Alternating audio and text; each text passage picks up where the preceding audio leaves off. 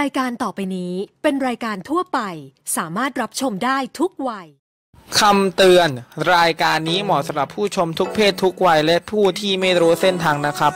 รายการนี้อาจจะมีคำหยาบคายบ้างเล็กน้อยเพราะเนื่องจากรายการนี้ถ่ายกันสดๆ ไม่มีเตรียมและคลิปกันล่วงหน้า